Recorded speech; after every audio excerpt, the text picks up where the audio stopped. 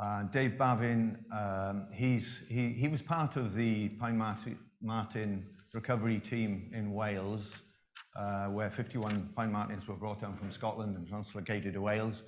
And that's, that's turned out to be a very successful program, and the martens are increasing and spreading now. And has actually set a kind of standard for translocation, in my view, anyway, at least. So, um, Dave, it's over to you. And so uh, we're looking forward to hear what you've got to say. Thanks, Hugh. Great. So yeah, thanks for the uh, introduction, Hugh. And um, yeah, and greetings from Scotland. I'm sorry that we can't be there with you um, today, but uh, hopefully, and I also apologise in advance if our bandwidth doesn't quite hold up to the standards that uh, have been set so far.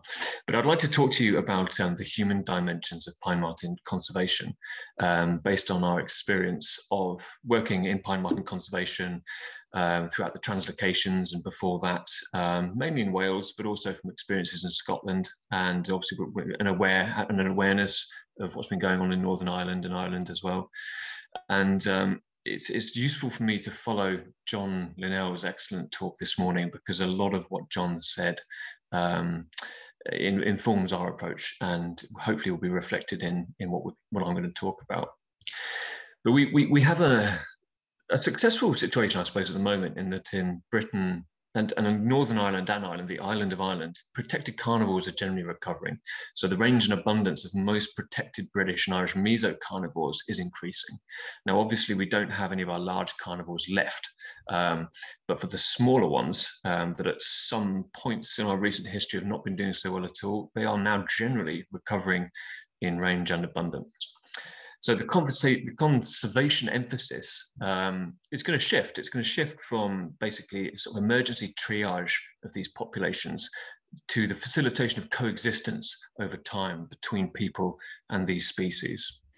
Um, and so what we're interested in, or what we're what we need to start to understand is what, what are the challenges associated with the um, conservation of these carnivores in a contemporary British and island of Ireland landscape. So there's, there's a few core drivers which affect people's perceptions of carnivores. We have to contend with this phenomenon, phenomenon of shifting baseline syndrome, whereby for, for multiple generations now, people have been living um, in Britain and Ireland in the absence of carnivores generally, or at least um, their experience of carnivores has been of, of populations in, with very low abundance.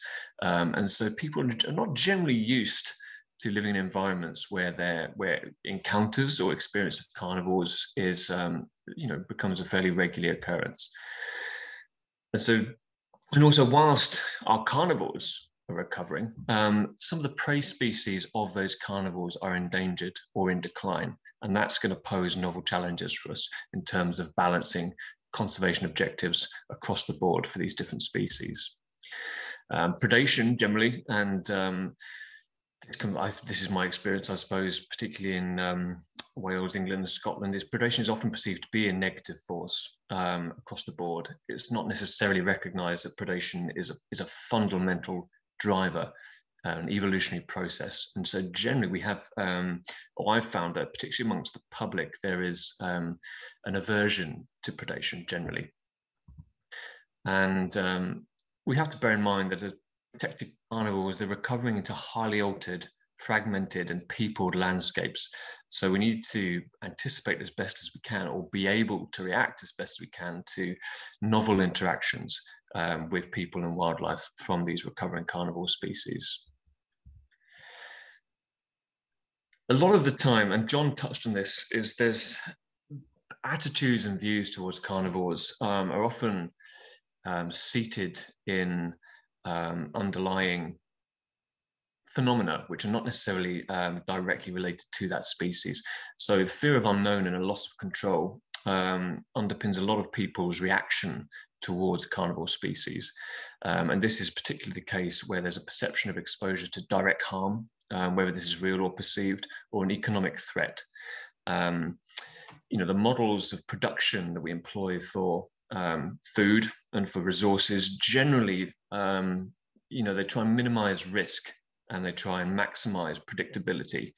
Um, and carnivores and lots of wildlife, they're free agents. You know, they're, they're autonomous beings in their own right. And um, they can often there present or, or, be seen to be risky because they can't necessarily be accounted for in uh, in what we like to do, which we, as I said, we try and make things highly predictable.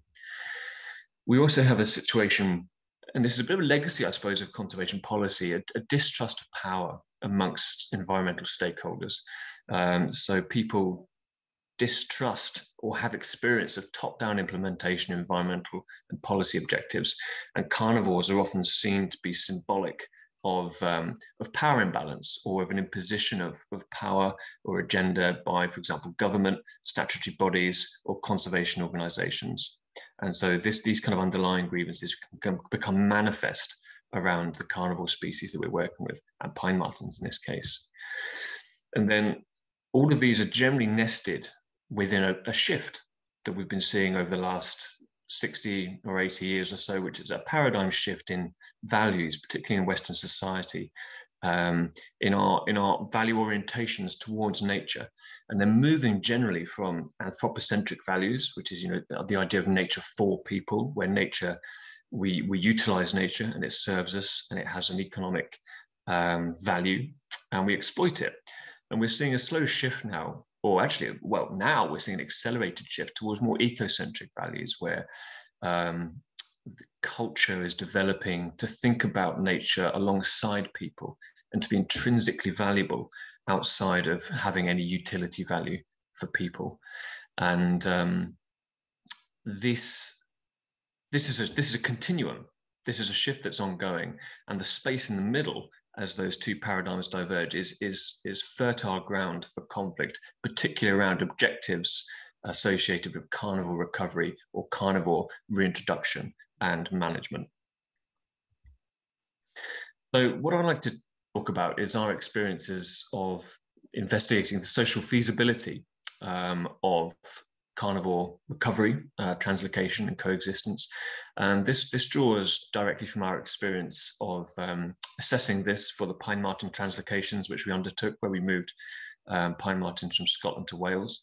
Um, and also more recently, we used um, Q methodology, which we used in Wales for the pine martens, um, to conduct the first social feasibility assessment of potential Eurasian lynx for introduction to Scotland.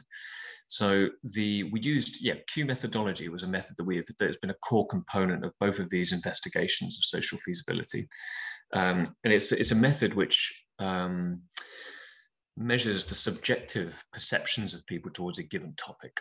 And what it does is it provides, or we found that it's able to provide quite a deep, um, nuanced investigation of how people feel towards, in this case, Pine Marten translocation and um, potential lynx reintroduction.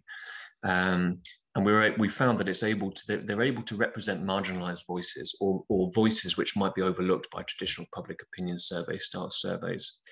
And so what I'll do now is just report on our, our use of this method um, with the pine martens, with the pine marten translocation, and um, and what it what it demonstrated to us or what it highlighted to us um, in terms of people's views towards both pine martens, translocation as a tool, and also pine marten recovery more generally. We carried out the study. Uh, the fieldwork was carried out by myself and Huw Denman, who just uh, introduced me, in uh, Pontrhydygroes, which was, um, so the map you can see is of the areas that we released the translocated pine martens in mid-Wales. And um, so what you can see there is I've, I've lifted this from Cat McNicol's paper, and um, it highlights the, the established territories of the pine martens after, after a couple of years of being released. And Pontrhydygroes was a, a community central within that release area. And we worked with that community to conduct this, this um, social feasibility assessment. So we identified four very distinct perspectives towards pine martens and the translo translocation. And um, it was useful because we were able to identify areas of consensus and divergence in the community members' views towards um, pine martens. And we were also able to highlight that a lot of these views were influenced by wider issues and underlying factors, which is which are crucial to understand if we if we if we want to gain a holistic understanding towards people's perceptions of these species that we need to work with, then um, we need to be aware that there's there's there's wider dynamics and underlying issues at play which we which we need to be we we, we need to have in our in our minds when we're, we're engaging with people. So the most prominent perspective that we encountered was this environmental protectionist perspective. So they supported translocation and pine marten recovery.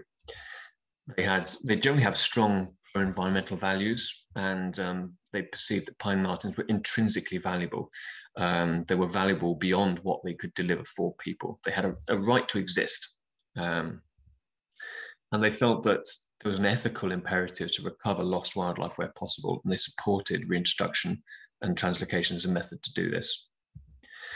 Uh, they were very pro rewilding and they were very anti wildlife management. They didn't like the idea that wildlife should be managed. They think that wildlife should be left to govern themselves as they as they wish. Um, and they generally supported efforts to um, reduce the level of wildlife management in the environment. And there were strong anti-farming sentiments within this group um, and anti-sport shooting sentiment. So they, there was a general belief that farming had been a strong contributor to the decline in biodiversity in Britain. The second perception was this what we what we call a natural resource steward. Um, and so they supported pine marten translocation. Um, they perceive that pine martens are part of native woodland ecosystems and that um, by virtue of, of, evolving within these systems, they play important roles. Um, however, there is an element of um, this utility value or this utilistic valuing of pine martens. So they believe the strong driver was they thought pine martens would deliver ecosystem services or economic benefits if they were able to um, contribute to the management of grey squirrels. Um, and as such, they then had, they did have some concerns over, for example, the impacts of pine martens on forest management um, and whether their protected status and designations would um, impede management of woodland. And there was a third voice, which we um, characterize as a cautious pragmatist. Um, so they are pro wildlife recovery, but they're quite ambivalent about translocation as a method to achieve this. So their experience, and well, and, they, and they have a very jaded experience in environmental and conservation schemes. Um, they are their experience is that conservation, that conservation policy is, is generally quite top down. Um, that there tends to be a bit of a power imbalance, and that there's often a lot of short term thinking. So they're concerned about the long term and about unintended consequences for the people that have to coexist with these species.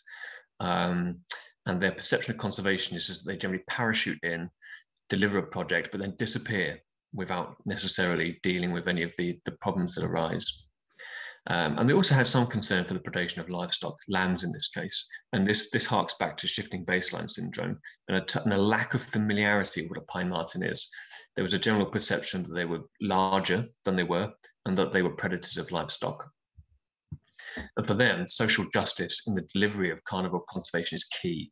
So the resolution of potential negative impacts, it, it has to be demonstrated to be equitable. So they're not anti-carnivore, but they think that carnivore conservation um, and translocation in this case, it has to be fair.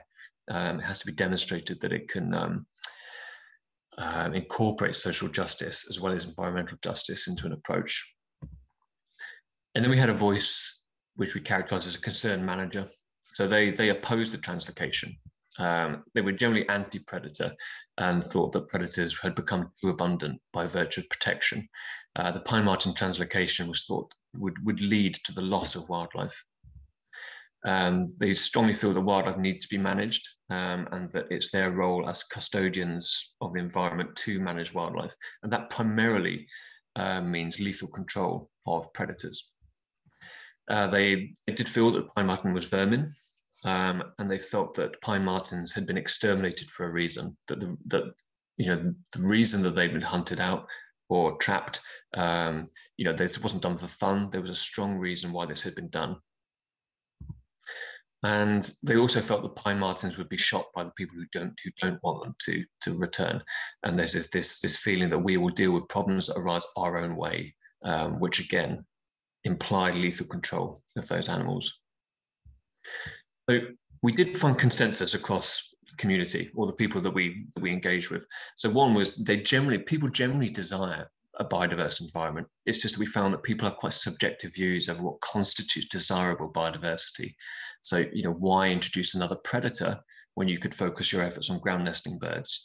Um, and again, this was especially the case with the concerned managers. They, they did not consider predators to be sort of a desirable element of biodiversity.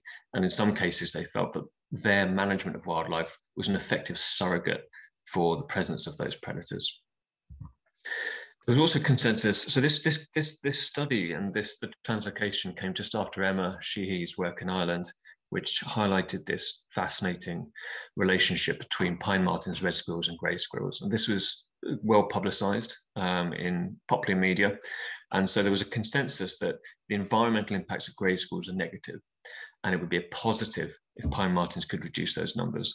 So it was conceded even by the concerned managers that if pine martens could have some kind of regulatory impact on grey squirrels, that would be a positive thing.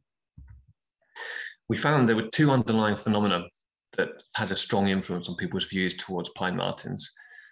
So one of them was badgers. So badgers are, and the, and the protected status of badgers is a contentious issue in a lot of um, Britain, probably Ireland as well, although I'm not as familiar.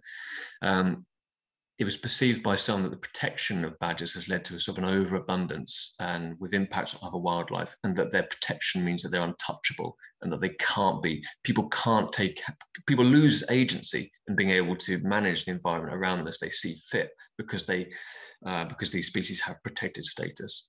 It was also thought that they were carriers of disease based on the TB um, dynamic, and it was felt that pine martens would therefore also be carriers of disease. And the people aligning with the concern managers, they, they don't feel that, con- that conservationists are competent or willing to grasp the nettle to address this thorny issue with the protected status and the perceived increase in abundance of badgers and their impact on wildlife. So they thought that, that would be the case with the pine marten as well, that it would be protected, it would be untouchable, and people wouldn't be able to do anything if there was an impact on wildlife.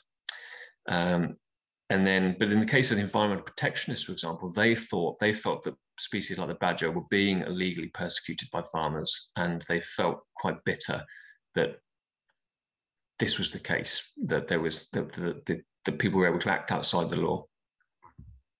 We also found that rewilding had a strong influence on people's views. And again, this came out, we were doing this study about the time that George Monbiot published Feral, where he was extremely um, scathing of Welsh sheep farming practices. And so rewilding at the time was highly emotive and divisive, and it was incredibly value laden. And it was pine marten recovery became associated in lots of people's minds with rewilding objectives. So pine martens, we often heard the refrain, you know, this is the thin end of the wedge. What next? Are pine martens paving the way for the reintroductions of increasingly scaled up predators like lynx and wolves and bears? But again, the environmental protectionists they perceived uh, rewilding as positive because they felt it was reversing the damage caused by humans. They felt that it was an ethically justified um, approach to environmental management. So we gained a deeper understanding of people's perceptions of pine martens and their potential recovery by translocation. What we were able to highlight is that there's potential for conflict between people over pine martens and their recovery and coexistence in highlighting these and being able to understand it, we kind of laid out a bit of a roadmap in how to approach pine marten conservation and the translocation. So I, I feel we were able to reduce the chances, well, we were able to reduce the chances for certain voices to feel marginalized and devalued. And um, we saw this with the, with the Eileen O'Rourke's great paper associated with white-tailed eagles is that when voices in opposition are marginalized and devalued, then they can act on that.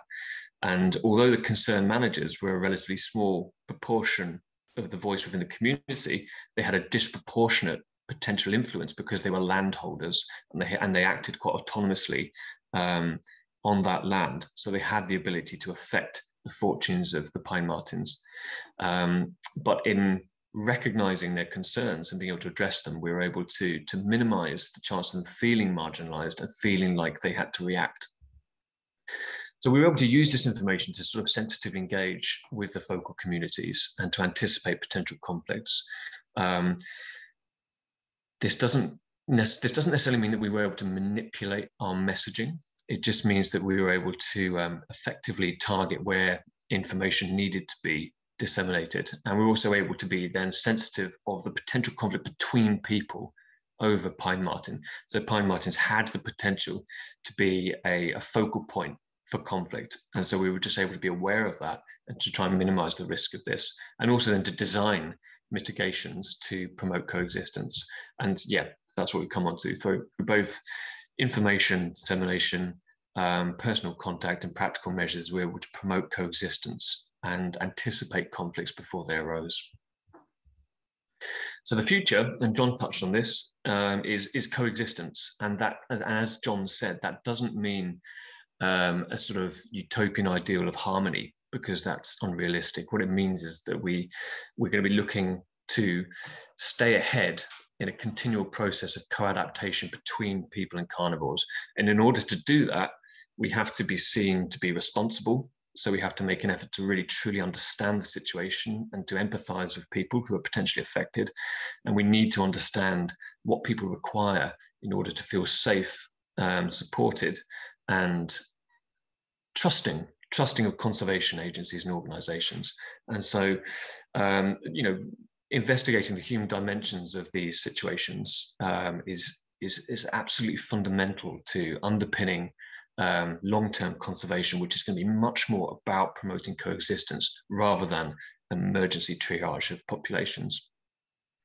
So I'm hoping that's quite well in time and I've left time for questions.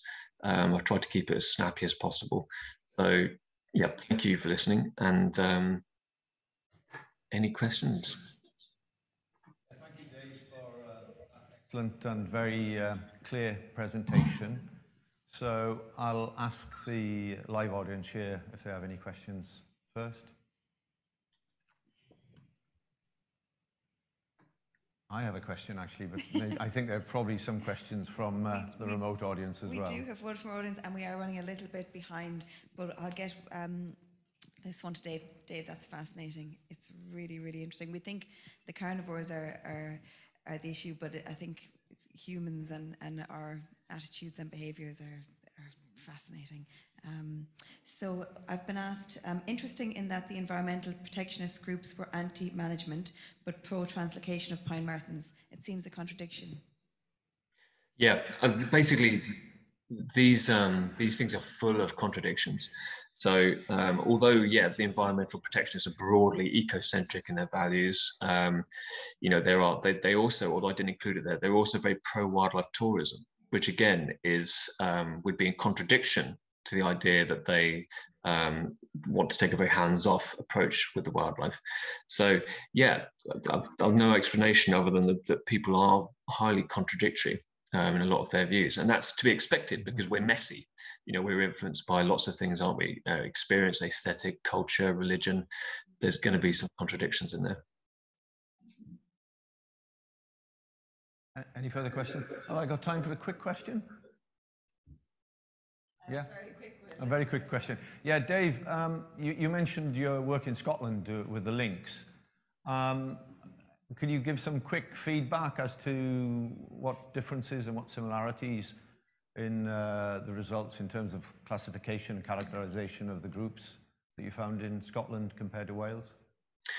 Yeah, it's a great question, Hugh. So, so that report will be publicly available quite soon but broadly, broadly, there was similar spread of views. The, the, perspectives that we derived from the lynx study were were different, you know, because they're obviously specific to that question.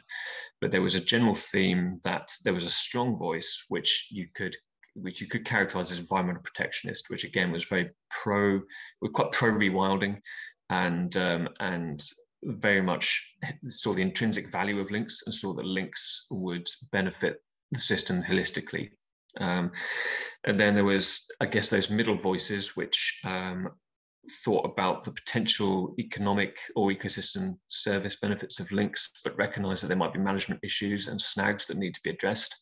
Um, and then there was, yeah, this again a, a, a, voice of strong concern, which was associated with um, protecting human interests. So in this case, sheep farming and sport shooting, and protecting or, or just prioritizing the um, uh, the thriving of human community, um, which we all do. But I, I would say that this, this, there were specific differences, obviously, by and I, th- I think these voices, and I, and in the paper that we produced, we highlighted this that these voices are um, they turn up in a lot of conflict or conservation conflict situations, such as red grouse and raptors in Scotland, uh, the situation with white-tailed eagles in Ireland, and over on the west coast of Scotland. Um, these these these voices, although there's contextual differences based on the question, some of the fundamental tenets are similar. And I think again that underpins this this paradigm shift that we're seeing at the moment between these this development of more ecocentric values and those more traditional anthropocentric values. Yeah, thank you, Dave. Um, I'm sure we'll all look forward to uh, uh, reading about your work in Scotland as well. Thank you very much. No problem.